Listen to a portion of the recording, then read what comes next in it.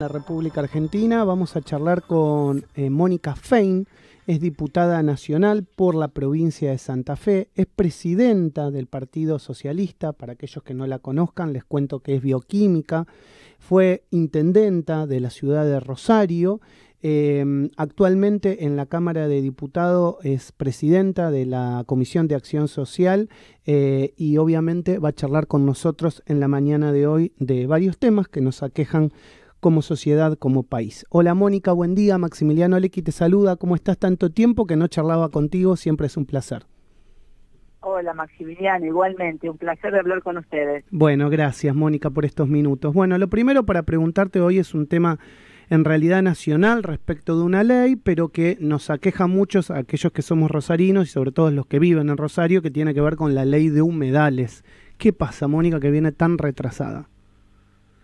Bueno, la verdad que más allá de nuestra insistencia, sobre todo del diputado Enrique Esteves, que emplazó, es decir, le puso a un plazo, un plazo al Congreso para tratarlo, la verdad que es una ley que viene retrasada. Hubo dos dictámenes de la última comisión plenaria y no está llegando al recinto por no encontrar los consensos necesarios. La mm. verdad que nosotros firmamos la ley que eh, tiene como titular eh, a Leo Grosso, pero en realidad ha sido hecho por las organizaciones de la sociedad civil. Em, si bien tenemos eh, nuestro proyecto tenía algunas particularidades, entendemos que es el que más se acerca a, realmente el concepto de la protección sustentable y el desarrollo sustentable en los humedales.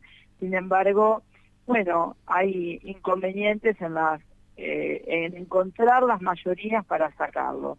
Ha habido una fuerte presión de sectores productivos, creo que con una idea de que no se puede preservar nuestros recursos naturales y desarrollar una producción sustentable, cosa que no es así.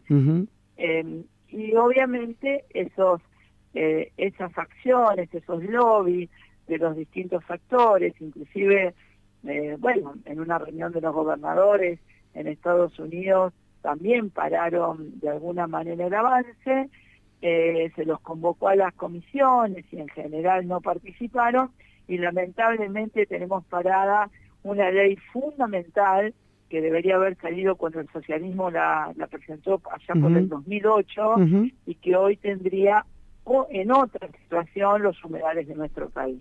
Comparto plenamente. No quiero escaparle a la pregunta respecto a la situación política de si crees que el gobierno santafesino actual, estoy hablando del gobierno de Omar Perotti, está haciendo lo suficiente frente al gobierno nacional para que esta ley salga o en realidad no está haciendo nada.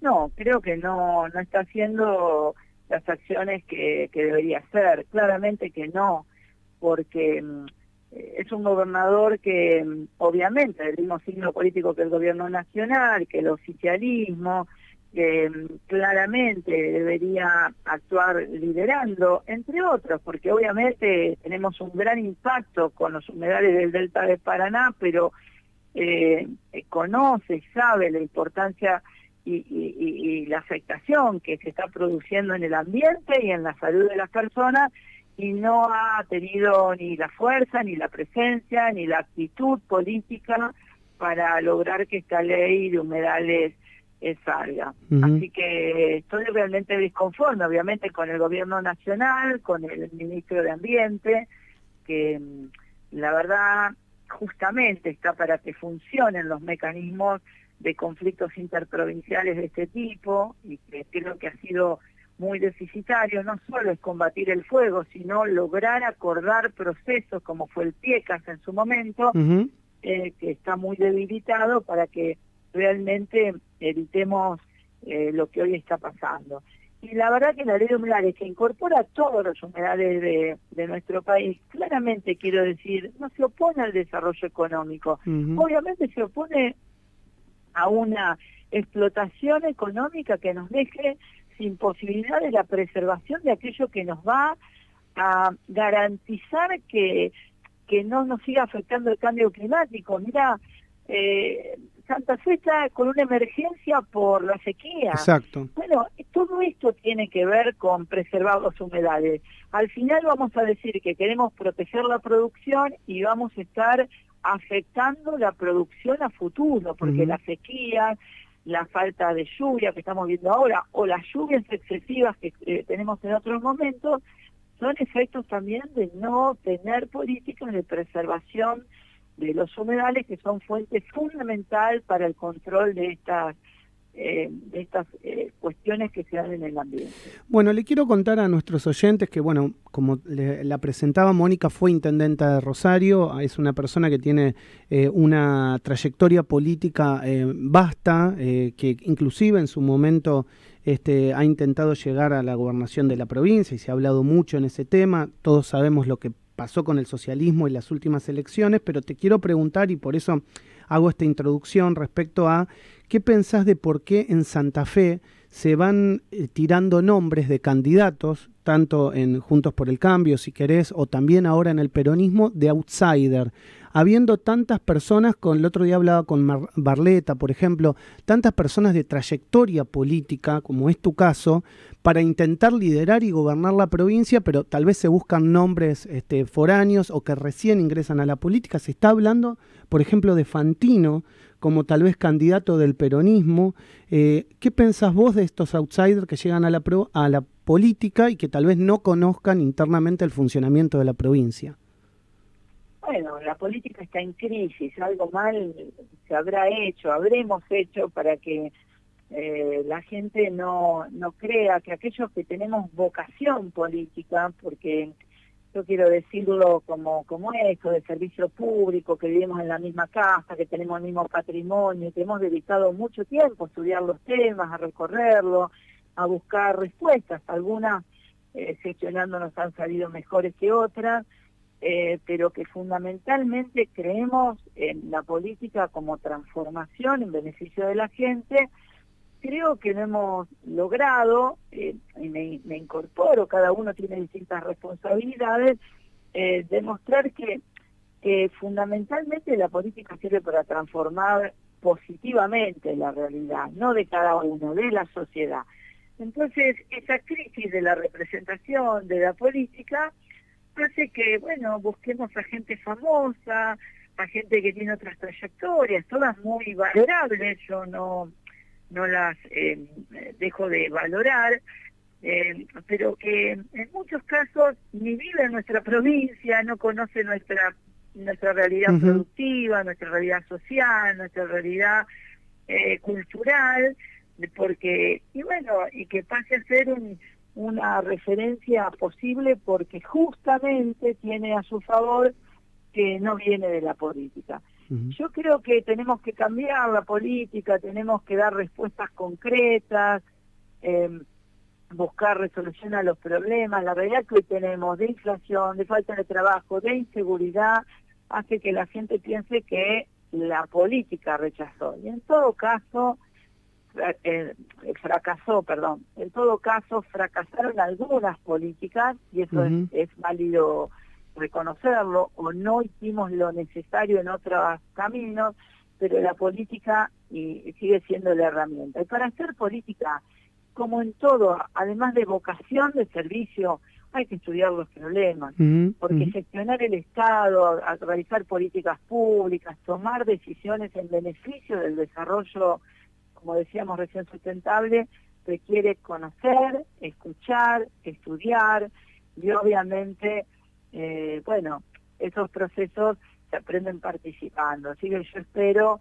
y más allá de todos aquellos que quieran involucrarse en política, que me parece realmente muy loable, lo hagan con la vocación de generar un proceso también de aprendizaje en la gestión pública, porque no es que uno bueno, es como eh, si a mí me das mañana una empresa exitosa, posiblemente mi falta de conocimiento en las lógicas empresarias me hagan eh, que esa empresa exitosa o esa empresa mm. con, con dificultades no resuelva sus dificultades o no siga siendo exitosa. Bueno, yo creo lo mismo en la política, estudiar los problemas de una provincia, de la educación, de la salud, de los procesos productivos, de las urbanizaciones, de cómo llegar con servicios, requiere, la verdad, formación. Así que que todos aquellos que se sumen, ojalá que lo hagan, eh, bueno, pensando en ese camino, ¿no? De, menor a mayor y no pensando que uno llega y, puede, bueno, como todo, saber una un proceso que no ha transitado. decime qué concepto tenés del intendente actual, de Pablo Hapkin, respecto al manejo que se está dando en la ciudad de Rosario. Yo prefiero no, no hacer valoraciones de Pablo, porque me parece que lo tiene que hacer la sociedad, ¿no? Me, me parece que los que fuimos intendentes tenemos que ser muy prudentes en en hacer evaluaciones, lo tiene que hacer la sociedad, siempre me he puesto a disposición de Pablo en lo que necesite, porque creo que la política debe intentar resolver problemas más que eh, analizarnos entre nosotros. Eh, así que nada, acompañar en aquellas cosas que, que puedo acompañar, obviamente le da su propio perfil, su propia característica. Yo siempre creo que hay que defender más a Rosario y se lo, se lo he mm. planteado porque nos han dejado muy solo en temas muy complejos. Como la seguridad, ¿no? como la seguridad. Y para eso, eh, y lo digo para todos los que estamos en Rosario, hay que plantarse y defender que no vamos a poder resolver esos problemas si los otros niveles del Estado la verdad que nos dejen solos. Eh, Mónica, a mí me pasa, este, ya hace 20 años que vivo en Buenos Aires, pero sigo yendo a Rosario habitualmente, dos veces por semana trato de ir, de, por mes trato de ir, eh, y realmente me sucede que Rosario es tan linda, están, digamos, las últimas gestiones han sido tan buenas, la han cambiado, la han embellecido, toda la costa. Y cuando va, digamos, muchas personas del resto del país a Rosario se quedan sorprendidas. Digo, ¿Qué nos pasa que no defendemos más a nuestra ciudad eh, de manera, digamos, general, de manera en los medios públicos, de manera en poder generar de Rosario o hacer de Rosario este, un polo turístico impresionante? Porque la verdad que tenemos todo para hacerlo dentro de la Argentina.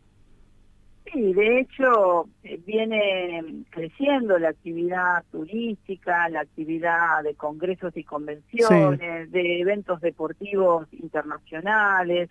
La verdad que Rosario es una ciudad ejemplo de transformación en todos los temas, pero la violencia urbana eh, se ha impuesto como un tema que realmente no nos permite eh, avanzar eh, adecuadamente en la difusión y en la en, mostrar nuestra ciudad, en su cultura. Bueno, la verdad que somos, ahora pensaba en el fútbol, fíjate los referentes deportivos que tenemos, los referentes culturales que tenemos. En lo que quieras, Rosario es una ciudad creadora, creadora de, de innovadores, de empresarios, de de, actores de la cultura, del deporte, porque es una ciudad que, realmente tiene una lógica innovadora y creativa. Y bueno, la verdad que estamos atravesados por una violencia que no es propia de Rosario, yo siempre lo digo, porque la idea de que el narcotráfico eligió una ciudad me parece una simplificación.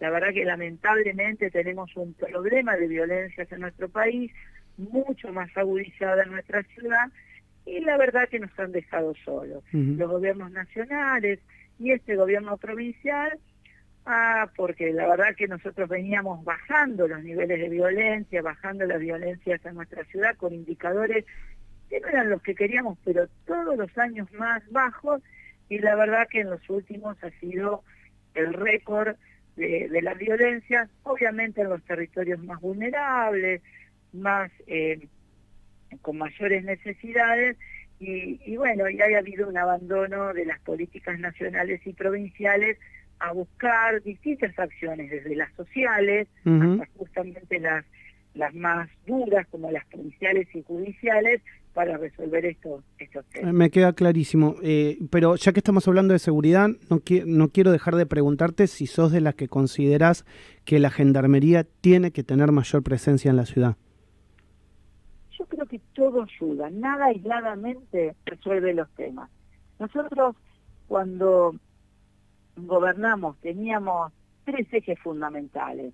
Uno, un profundo plan de transformación urbana e inclusión social, porque las violencias se dan en territorios vulnerados, con jóvenes fuera del sistema, que los hemos dejado afuera del sistema. Entonces, generar políticas sociales de inclusión social, transformaciones urbanas, generar pues, procesos como Nueva Oportunidad, el Plan Abre, fueron procesos que bajaron las violencias territoriales. Por el otro lado, obvio que creo que hay que tener presencia de fuerzas de seguridad, porque obviamente para prevenir el delito son importantes. Yo a veces, te digo en serio, recorro la ciudad eh, a la noche porque voy a una actividad y no te cruzas ni con un patrullero policial ni con un, eh, móvil de gendarmería. Y uno dice, bueno, si yo cruzo toda la ciudad y no encuentro a nadie, ¿dónde están? Digamos, yo creo que la presencia disuasoria y para actuar en caso de sea necesario es fundamental. Y creo que Gendarmería ayuda, por supuesto, en ese proceso y que tendría que tener mayor presencia porque la ciudad de Buenos Aires tiene prefectura, policía aeronáutica, eh, policía federal. Bueno, tiene toda una estructura y Rosario no tiene nada de eso. Y el otro gran tema es, por supuesto, eh, avanzar en la justicia. Hemos presentado los diputados a nivel de justicia federal un proyecto en común para que haya una mejor justicia, porque hemos visto con el cambio que hicimos en la justicia de Santa Fe, que la actuación de la justicia es fundamental para, obviamente, una vez cometido el delito, poder actuar. Y cuando coordinamos distintos niveles del Estado y distintas áreas de, acción, es donde tenemos resultados. Nada aisladamente nos va a dar la respuesta. Mónica, gracias por estos minutos con Radio Sónica, siempre tan amable. Un abrazo enorme. Gracias, igualmente. ¿eh? Un, cariño enorme. Gracias. Mónica Fein, eh, es diputada nacional por la provincia de Santa Fe y charló con nosotros en la mañana del el arranque.